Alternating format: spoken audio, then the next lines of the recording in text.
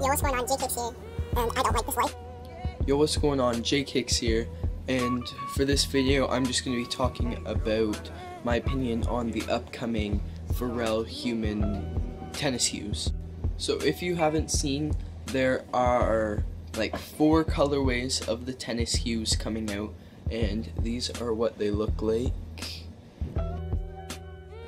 My favorite colorway for the tennis shoes that are releasing is definitely the multicolored because it's just a really nice looking pair of shoes and it would definitely really stand out when you wear it.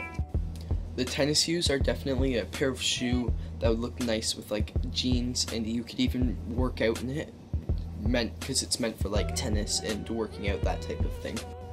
I honestly like these just about as much as the um, NMD human races because these are just really clean looking and they just they're a nice looking running shoe when the NMDs are just like an XR1 type of shoe and that's not really my favorite um, NMD and then these are just like a really simple shoe that looks super nice.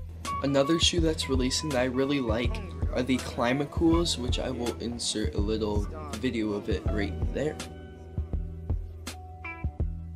Um, I really like this shoe because it is really snug on the foot and it feels really nice. It's insanely comfortable. I tried it on today and it is probably equally as comfortable as like an Ultra Boost or NMD, maybe even more comfortable, and it's definitely meant for running and working out, like basketball, all that type of stuff. This shoe is really comfortable the way it's um, like holds your foot in.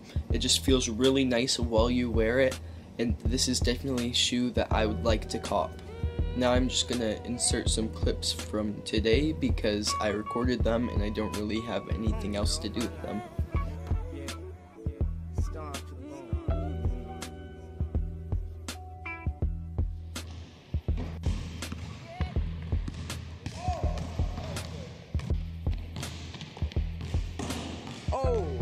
Now you can tell that I really don't play basketball that much and I suck at it and I just have shoes basketball shoes because I like them. But thank you guys for watching. If you enjoyed, leave a like, subscribe if you're new, and comment what you'd like to see more of.